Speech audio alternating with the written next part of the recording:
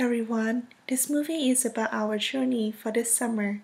So, just to give you guys an overview about our research, we are studying on hydraulic capacity of epiphytes, which are plants that live on other plants. So, the epiphyte species that we are working on are Clusiae, Cavendishia, Capitulata, Schefflera, Oreopanax, Psychotria, Neo Miranda, Cosmibuena, Lily, Ericat. So, if we mention these names in the movie, please remember that we are talking about our epiphyte species. Thank you. Enjoy the movie.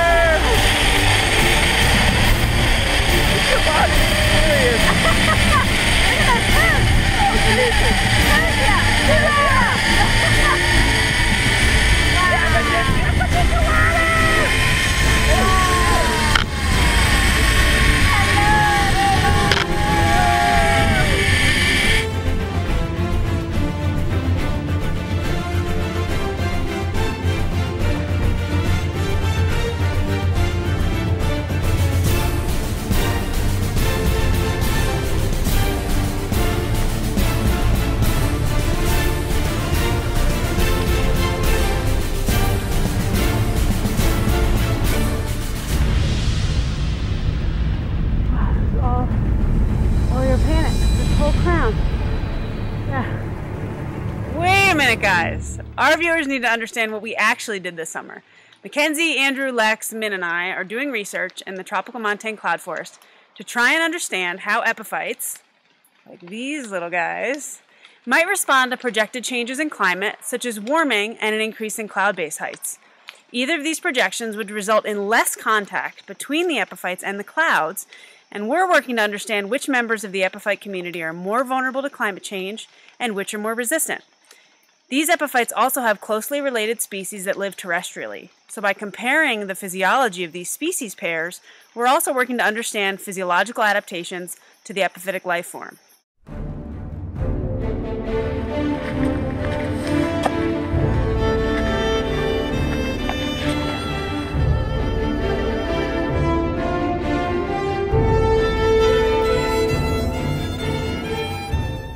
So this is black line so that we can secure the box. This is random work gear. This is a redirect lanyard. This is my belay device to get down. This is some throw line, so if I need to throw another line. And this red one back here, my rescue bag. And then this is just random little gear. So time is by putting these Jumars on the rope and they have little teeth in them. And so you can move them up if there's no weight on the Jumar, like this. But once there's weight on it, it holds, so it doesn't slide down.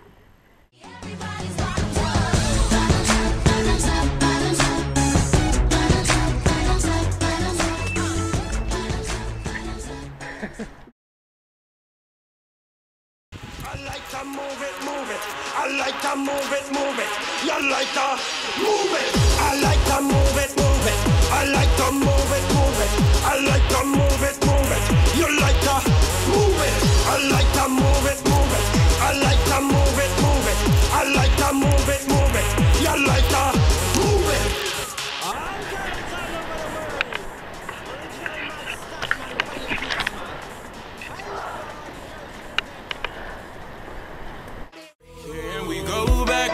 This is the moment. Tonight is the night. We'll fight till it's over. So we put our hands up like the ceiling can't hold us. Like the ceiling can't hold us. Here we go back. This is the moment. Tonight is the night. We'll fight till it's over. So we put our hands up like the ceiling can't hold us.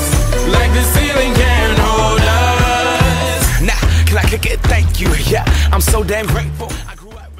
Here's some sap flow sensors. And then there's a little hobo station over here. And behind me is the weather station. Station's been running for about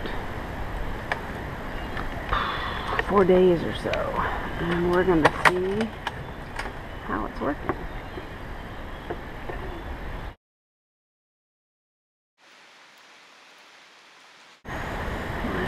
Come on, hello.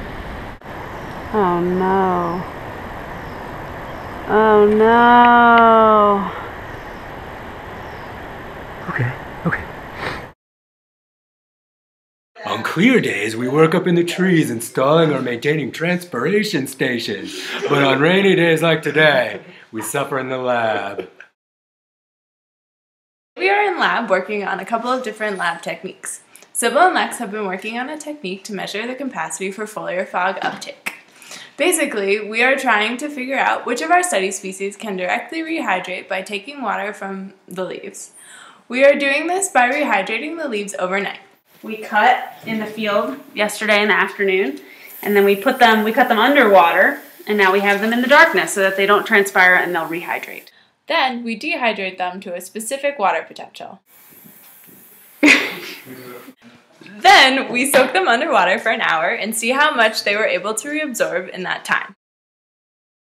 Andrew, Min, and I are working on measuring functional traits for our target species, such as wood density, which we expect to vary across functional groups of epiphytes. Andrew and Min love this job. Min is tracing leaves, while Andrew is cutting the leaves out. Back at M&M, we will use these cutouts to determine the leaf area of each of our samples. And even though we've worked really hard this summer, we've also had a lot of fun. And we go